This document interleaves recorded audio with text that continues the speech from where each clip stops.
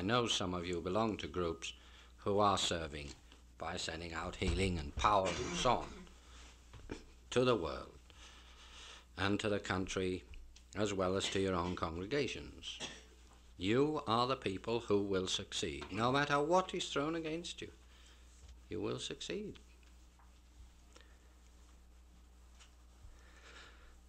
the dark forces will try to interfere with you. Be very careful, especially in this present time limit. The Aetherius Society has, over the last two weeks, been under extremely potent attack.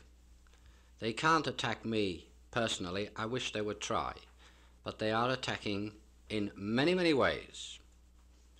Your organizations will be under attack. If they haven't already been under attack, then watch it. They're going to be shortly. And they will attack you in many, many ways because they know now that these are their last days. And they'll pull all the stops out, but you will win.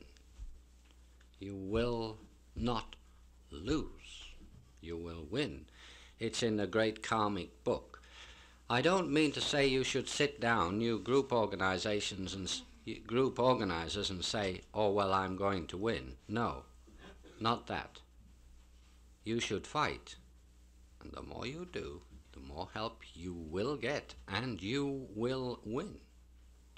I'm not just saying that because I want you to win, I'm saying that because I know it to be true beyond all shadow of all doubt. Because if you are serving, it is the great yoga and nothing.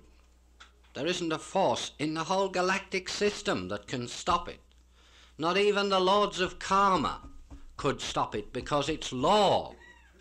What is written in the immutable law must come to pass, and you too will triumph.